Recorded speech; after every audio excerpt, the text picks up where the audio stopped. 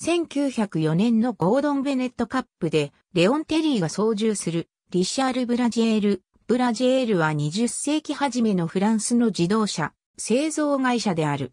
パリ郊外に会社があり、1905年から1930年の間活動した。1902年にリシャール・ブラジエールという名前で設立され、1926年からはセニョー・ブラジエールの社名で知られる。創業者のシャルル・アンディ・ブラジエル・チャールズ、ヘンリー・ブレイジャーは、しばらく自動車製造会社のパナールで働いた後、モルスとも働いた人物で、35歳になるまでに、自らの会社をジョルジュ・リシャールと共同で1902年に設立した。1905年までに、パートナーのリシャールが自動車競争に参加するために、しばしば工場を離れ、レースで負傷して仕事を続けられなくなったともされるが、リシャールは共同経営を止め別会社に移った。リシャールとの間の裁判などもあったがブラジエルは会社を維持した。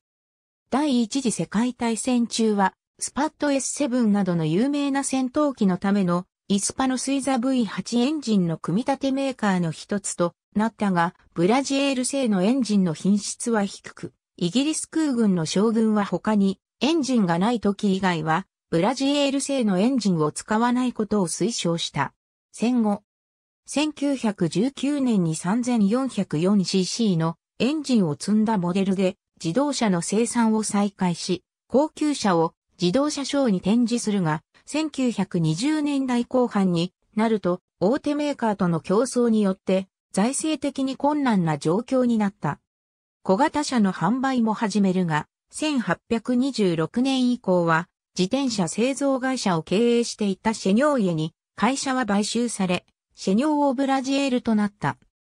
その後、かつての高級車路線に戻る試みもなされ、新エンジンや進歩的なシャーシの設計も取り入れられたが、1929年の世界恐慌によって、1930年か1931年には活動を停止した。レースの分野では、レオンテリーのドライブで第5回と第6回のゴードン・ベネットカップに優勝した。